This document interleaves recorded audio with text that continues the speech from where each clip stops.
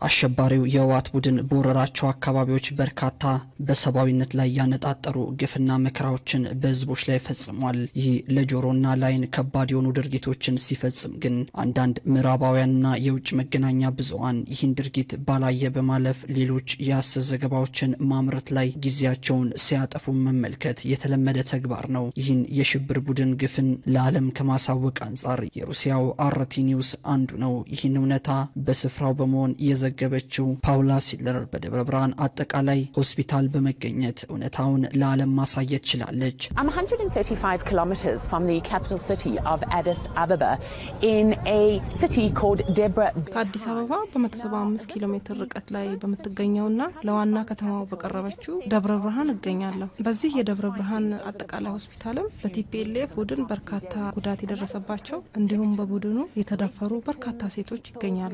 ይህንም ተጠቂዎችንና የሕክምና ባለሙያዎችን በማግኘት ስለ ሁኔታው ለማወቅ ወድጃለሁ።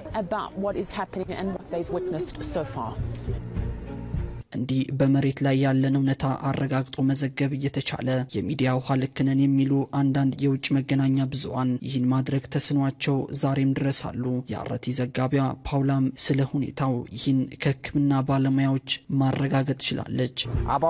uh, 25 uh, women were admitted in our hospital, and uh, the majority of uh, women were treated and discharged. ወደ 25 የሚሆኑ ሴቶች ወደ ሆስፒታላችን መጥተዋል። አብዛኞቹም ታክመው ከበሽታቸው አገግመው የሄዱ አሉ። ከነዚህ ውስጥ ወደ አስር የሚጠጉትን ማግኘት እንችላለን። ከነዚህ ውስጥ ደግሞ የ80 ዓመት አዛውንትም አሉ። 80. And she was raped? እሳቸውም የተደፈሩ ናቸው። uh, you can visit her.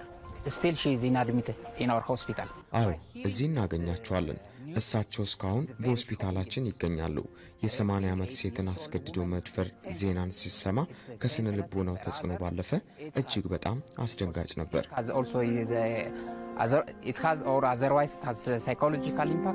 ይህ ለሰሚ እንኳን ከባድ የሆነ ነውረኛ ተግባር በአሸባሪው ውሃት ግን ሊፈጸም ችሏል። ይህንንም ፍቃደኛ የሆኑና ዛሬ ላይ በሕይወት ቆይተው ለመናገር የበቁ የጥቃቱ ሰለባዎች በአንደበታቸው እውነታውን መስክረዋል።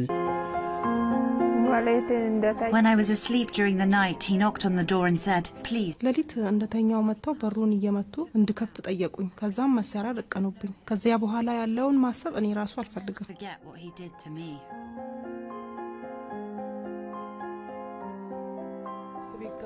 በቤት ከደረሱ በኋላ ጉዳት አደረሱ። ከዚያም ነፍሰ ጡር መሆኔ እንኳን ሳያዛዝናቸው ደፈሩኝ። በዚህም ልጄ ላጣ ችያለሁ።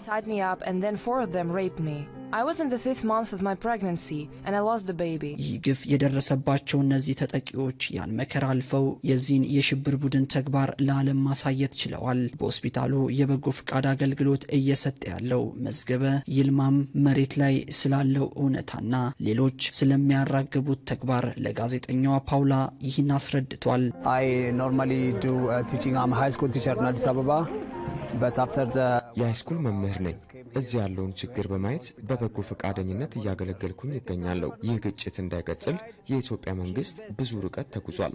ነገር ግን በዚህ ልክ ሳይሆን ጦርነቱ እንዲቀጥል ሆኗል። እዚህ ያለውን እውነታ መዘገብ ያልፈለጉ ቢቢሲ፣ ሲኤንኤንን ጨምሮ ሌሎች የውጭ መገናኛ ብዙሃን ከዚህ ከሽብር ቡድኑ ጋር በጋራ በመሆን ሲሰሩም ነበር። ይህን ለማድረግም ሐሰተኛ ምስሎችን በመጠቀምና የተሳሳቱ ዘገባዎችን በመፈብረክ የኢትዮጵያን መንግስት ለመወንጀል ሲሰሩም ቆይተዋል። produce